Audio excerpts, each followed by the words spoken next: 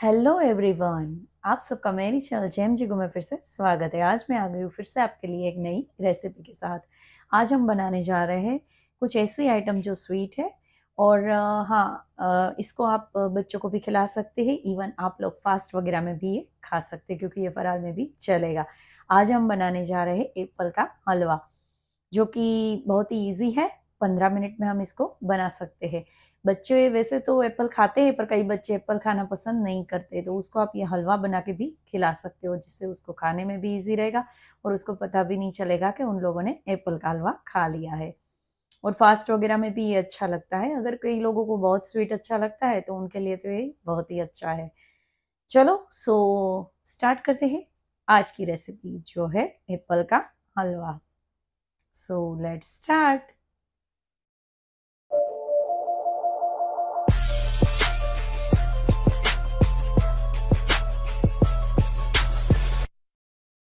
अब एप्पल का हलवा बनाने के लिए मैंने यहाँ पे 500 ग्राम एप्पल ले ली है और इसको मैंने कद्दूकस कर लिए है। आप चाहो तो इसको मिक्सी में इसकी पेस्ट भी कर सकते हो। अब यहाँ पे मैं डेढ़ चम्मच घी ले रही हूँ।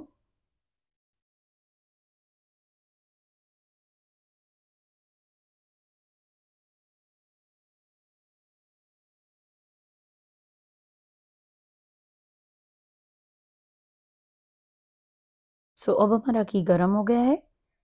तो अब हम डाल देंगे यहाँ पे कद्दूकस किया हुआ हमारा एप्पल। मैंने यहाँ पे एप्पल 500 ग्राम लिए हुए हैं। अब इसको अच्छी तरह से हमें चलाना है ताकि हमारे एप्पल थोड़े थोड़े पक जाए। हमें इसको कंटिन्यू हिलाते रहना है जिससे हमारे एप्पल नीचे चिपक ना जाए। वैसे तो एप्पल सॉफ्ट होते हैं, सो इसको पकने में ज़्यादा टाइम नहीं लगेगा। तो ये थोड़ी ही देर में पक जाएँगे और हमें गैस की फ्लेम मीडियम रखनी है। मीडियम टू लो पे ही हमें इसको चलाते रहना है, ताकि हमारे एप्पल अच्छे से पक जाए। और इसका जो एप्पल का रस है, वो मैंने निकाला नहीं है, वो मैंने इसमें ही ऐड कर दिया है।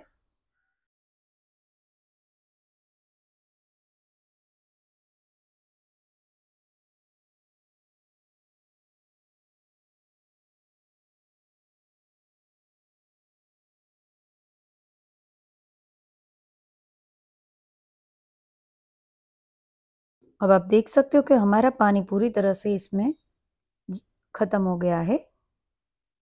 सो अब हम इसमें डाल देंगे एक कप दूध। अब वापस इसको हमें हिलाना है और अच्छे से इसको चलाते रहना है जिसके इसका दूध का पूरा मावा बन जाए।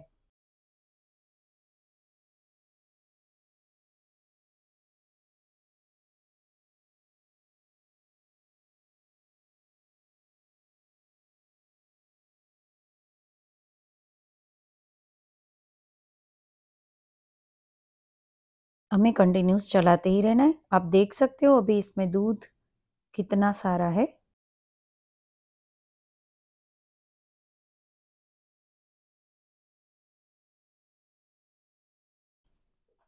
अब हमें इसमें आधे से थोड़ा ज़्यादा कप चीनी ऐड कर देनी है। मैंने यहाँ पे इतनी चीनी ली है, अगर आप चाहो ज़्यादा स्वीट अच्छा आपको लगता हो तो आप एक कप चीनी ले सकते हो। मैं यहाँ पे आगे मिठाई मेट डालने वाली हूँ, इसलिए मैंने यहाँ पे चीनी की क्वांटिटी थोड़ी कम रखी है। अब हमें अच्छे से चलाना है ताकि हमारी चीनी जो डाली है वो पूरी तरह से मेल्ट हो जाए और इसमें पूरे से अच्छे से मिक्स हो जाए।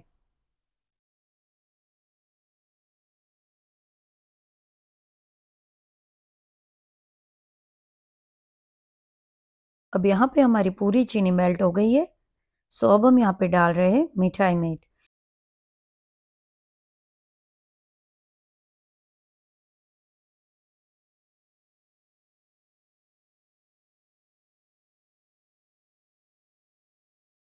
ये आपको कोई भी डेयरी शॉप से या तो अमूल पार्लर से आसानी से आपको मिल जाएगा।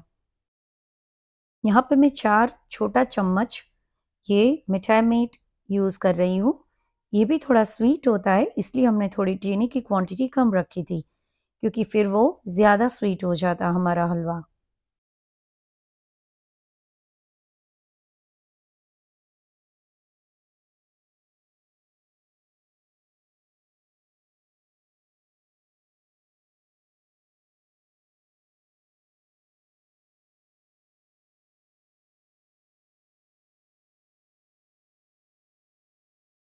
अब हमें अच्छे से इसको चलाते रहना है, जिससे हमारा ये जो हमने मिठाई में डाला है वो पूरा मावा हो जाएगा और इसमें एकदम अच्छे से घुल जाएगा।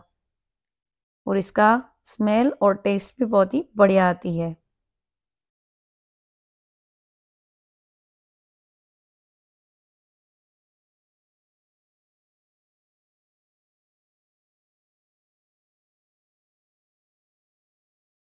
अब आप देख सकते हो कि इसमें पूरी अच्छी तरह से ये मिठाई मेट जो है वो मेल्ट हो गया है।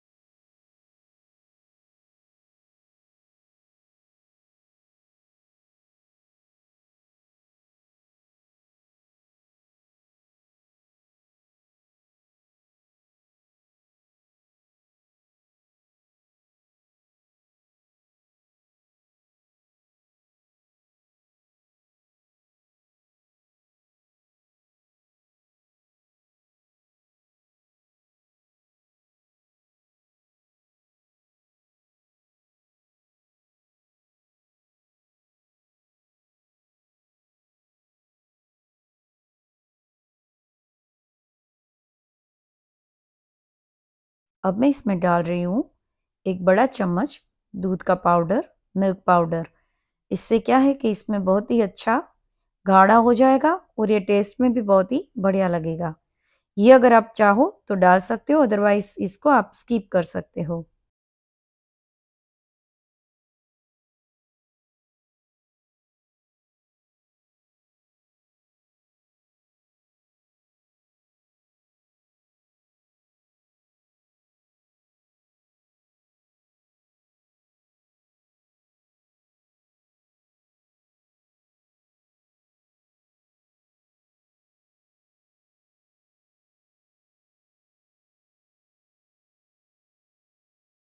अब मैं इसमें थोड़ी सी किशमिश ऐड कर रही हूँ, जिसका टेस्ट भी इसमें बहुत ही अच्छा लगता है। वापस से हम इसको अच्छे से मिक्स कर लेंगे। ये मैंने अभी इसलिए डाल दी है कि हलवे के साथ थोड़ी सॉफ्ट भी हो जाए, क्योंकि हलवा अभी गर्म है, सो इसमें ये सॉफ्ट हो जाए। और गैस की फ्लेम हमने स्लो पे रखी हुई है।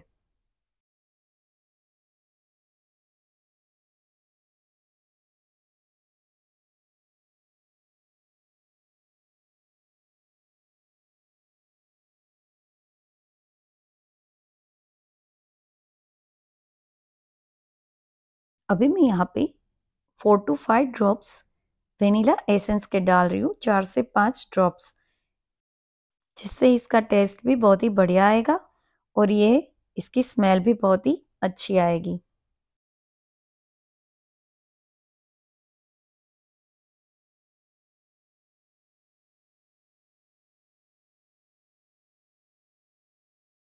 बस अब हमारा हलवा बिल्कुल रेडी है, हमें गैस की फ्लेम ऑफ़ कर देनी है।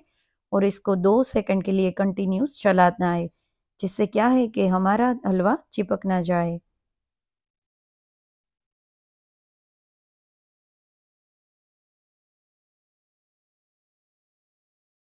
अब हमारा हलवा बिल्कुल रेडी हो गया है। आप इसको फास्ट वगैरह में भी खा सकते हैं और अगर आप छोटे बच्चों के लिए कर रहे हो तो, तो आप चीनी के बजाय गुड़ का उपयोग कर सकते हो और आप वेनिला एसेंस को भी स्किप कर सकते हो। अगर आपको मेरी रेसिपी अच्छी लगी है तो लाइक एंड शेयर करना मत भूलिए और मेरी चैनल को भी आप सब्सक्राइब कर दीजिए। और कमेंट बॉक्स में मुझे ज़रूर से बताएँ कि आपको मेरी रेसिपी कैसी लगी।